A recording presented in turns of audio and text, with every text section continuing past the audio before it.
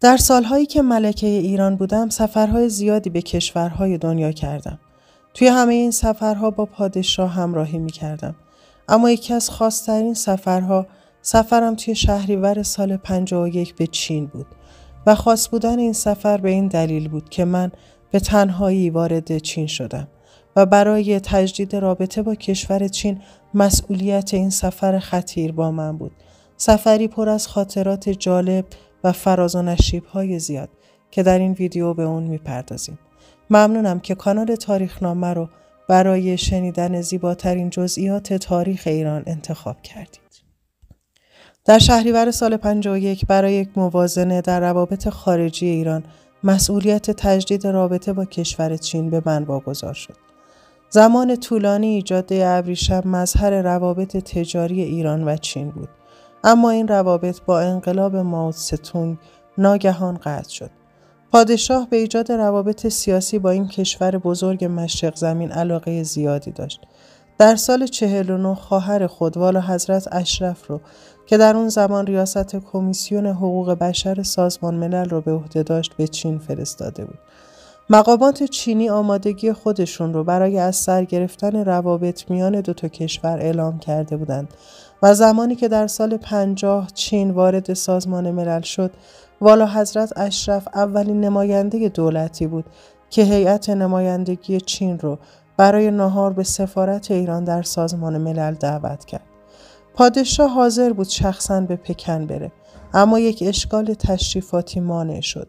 ماو به علت بیماری نمی‌تونست از پادشاه استقبال بکنه و در چنین موقعیتی بود که ریاست هیئت ایرانی برای یک سفر رسمی ده روزه به چین به عهده من واگذار شد. سفر پرهیجانی بود. در طول قرنها سرنوشت گاهی این دو ملت رو به هم نزدیک کرده بود. شاهزاده های ساسانی در برابر حمله اعراب به چین پناه برده بودند.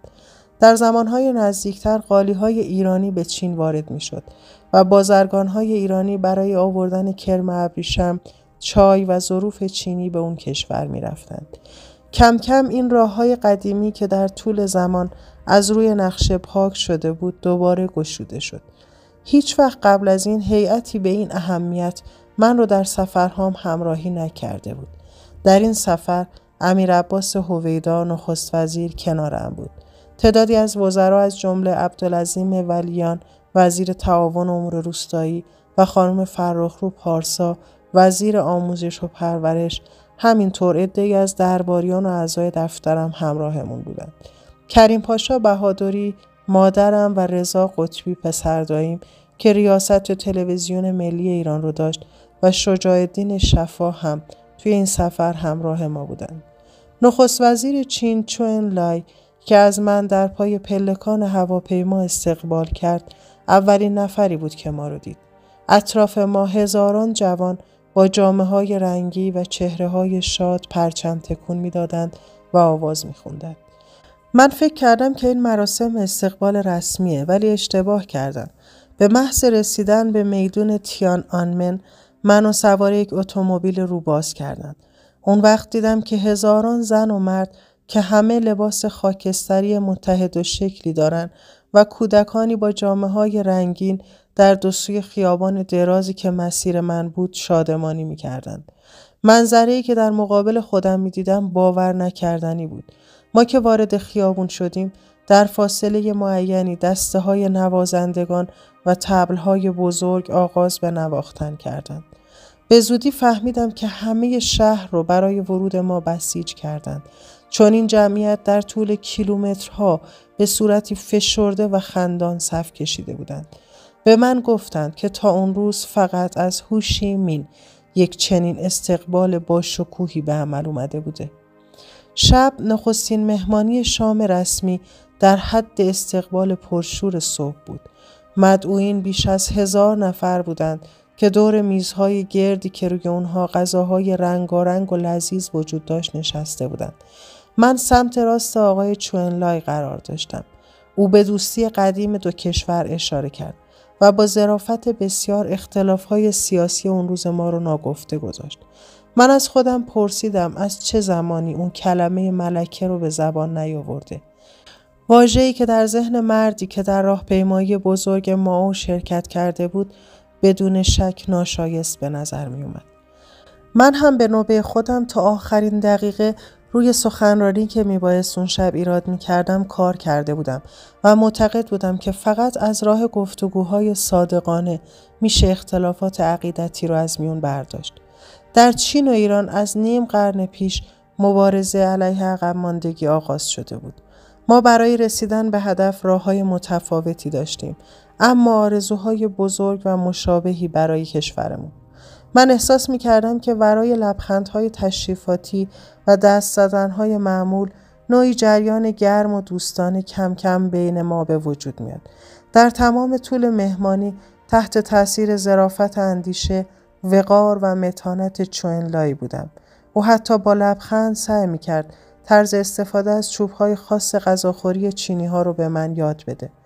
بعدها به من گفتند که این یکی از مهمانی های معدودی بوده که طی اون هیچ کدوم از مدعوین مهمونی رو به عنوان اعتراض ترک نکرده. دنباله سفر ما برداشت اولیه منو تایید کرد. علا برنامه بسیار سنگین برای بازدید از کارخانه ها، مزارع نمونه موزه ها و ملاقات های سیاسی و مهمانی های متعدد یک محیط گرم و صمیمانه و گاهی توأم با شوخی و تنز حکم فرما بود. در واقع همه ما از بودن در چین خوشحال بودیم و نسبت به شناخت راه و رسم چینی ها و ابتکاراتشون کنجکاو و همچنین مجذوب مهمان نوازی مقامات چینی در همه سطوح شده بودیم. اقامتگاه من یک خانه شاعرانه بود در گوشه یک باغ پر از گل. از استقبالی که شب اول ورودم از ما شد خاطره بسیار خوبی برام مونده. یک بانوی میان سال که گرمی نگاهش با لباسی که به تن داشت در تضاد بود منو پذیرا شد. هر اتاقی با یک ظرافت خاص تزئین شده بود و به نظر می اومد که مهماندار به همه جزئیات با دقت زیاد توجه کرده بود.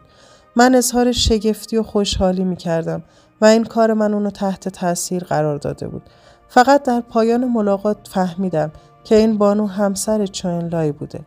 مردم به طور مصنوعی و ساختگی شروع شوق خودشون رو نسبت به ما نشون می‌دادند.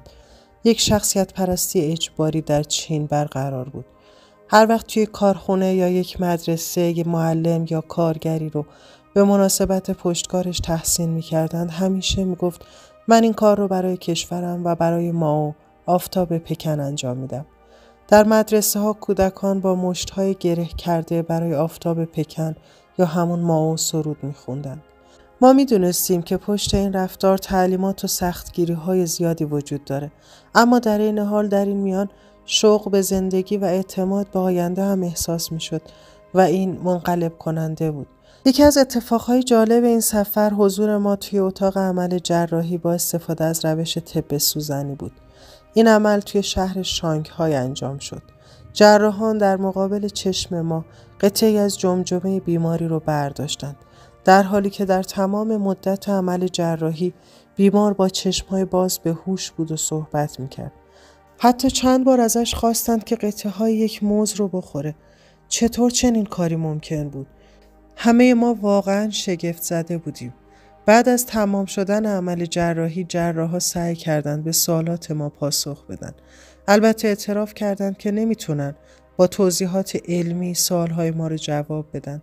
زیرا طب سوزنی به تجربه استوار بود.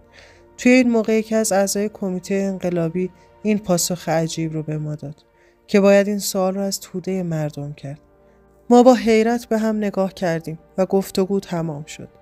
مهماندارها توی تمام مدت اقامت ما با دقت و ظرافت ما رو همراهی می کردن.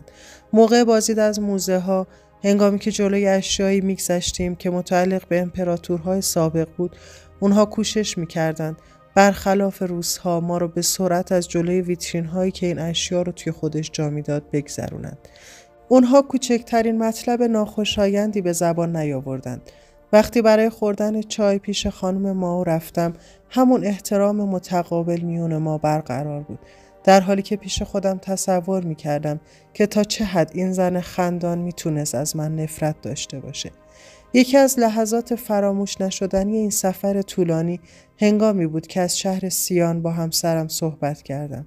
این شهر در گذشته مبدع راه ابریشم بود و با این ارتباط که من برقرار کردم یک بار دیگه راه ابریشم به طور نمادین و سمبولیک میان ایران و چین برقرار شد. پادشاه هیجان منو درک می‌کرد و خودش رو در این احساس شریک می‌دونست. هنگام بازگشت فرا رسید. هنگامی که خلبان اعلام کرد وارد فضای ایران شدیم همه بدون اینکه کلمه ای به زبون بیارن کف زدند. تازه اون لحظه تونستم میزان فشار روحی رو که توی احساس وجود تفکری واحد و یک نظام سختگیر در چین به ما وارد شده بود پی ببرم. رئیس حزب کمونیست چین هواکوا فونگ آخرین شخصیتی بود که تک سفر رسمی توی دوران سلطنت همسرم به تهران اومد. خاطرم هست که ورودش همزمان با انتشار تصویر خمینی در روزنامه کیهان بود. نمی‌دونم فکرم درست بود یا غلط ولی بازدید ایشون از ایران رو توی اون روزهای غمانگیز نوعی پشتیبانی از پادشاه تعبیر کردم. ممنونم که تا انتهای این ویدیو زیبا با ما همراه بودید و ممنون میشم که نظراتتون رو در مورد این سلسله ویدیوها برای ما حتما بنویسید.